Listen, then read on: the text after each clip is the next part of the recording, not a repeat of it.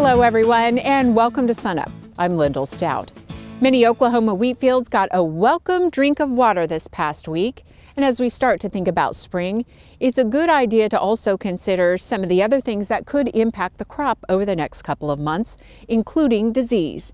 Here's our Extension wheat pathologist, Bob Hunger. Well, last fall there was fairly good moisture early and uh, there was a fair amount of, of, wheat that was planted early. And in that, especially the early planted wheat, uh, there was a lot of leaf rust that developed in the fall.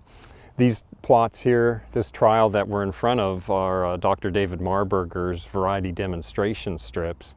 And you can see in the back strips, that was the early planted wheat in uh, mid-September. The shorter green wheat in the front was the later planted and that was late October. You can see a big difference between those. It was in the early planted strips that we saw a lot of leaf rust develop in the fall because that growth was there early when there was moisture. What does that translate to then this time of year? Well, as we went through the winter, there was uh, a dryness, a lot of drought, and some a couple of very extreme cold events that uh, killed a lot of the leaf rust infected leaves and that's a lot of what the yellowing that you see in that early planted strips back there. No leaf rust did I ever find in the, the later planted strips here in the front.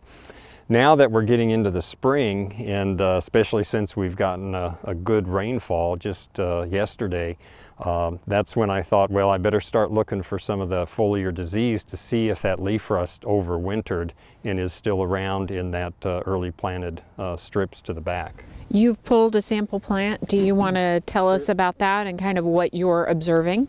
Well, this is, uh, uh, like I say, was pulled from the early planted strips back there. And you can see that a lot of the older, lower leaves are completely dead. And if you look at them very closely, I, I don't know that you'd be able to pick it up with the camera, but you can see a few pustules in there. But when you start looking at the, uh, the green leaves, for example, there's one right there, you can see a few leaf rust pustules on that leaf uh, indicating that leaf rust did overwinter on this variety and I found it in several varieties that are susceptible to leaf rust.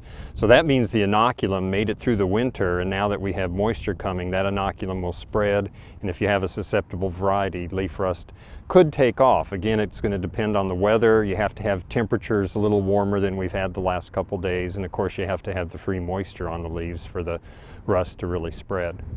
Our neighbors to the south are a lot of times an indicator of what may be headed our way. What are you hearing from your, your peers in Texas?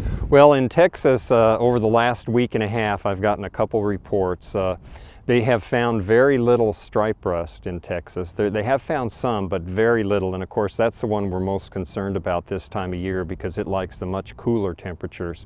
So there's not going to be a lot of stripe rust inoculum to blow up from Texas into Oklahoma. At least it doesn't appear that way. But they have also found a, a moderate to a heavy amount of leaf rust, leaf rust across quite a bit of Texas. So there will be leaf rust inoculum coming up from Texas, but also we apparently have a, quite a bit of inoculum of it in the, the state of Oklahoma itself.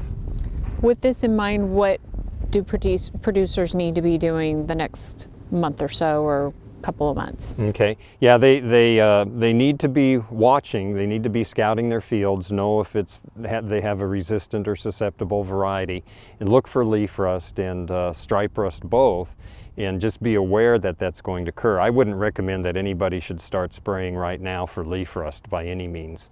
Stripe rust is a little bit different. If they find stripe rust, uh, that, that can, can explode in a hurry, but it sounds like we're not going to have much inoculum for it to get started early in the state. Uh, if, if you're a no-till grower and you have fields with a lot of residue in them that were in wheat uh, last year, those, those growers should be looking more for the leaf spotters, uh, tan spot and septoria leaf blotch, as well as leaf rust and stripe rust, just to know if, if they should be thinking about uh, putting a spray application on to help maintain the yield and quality of their wheat.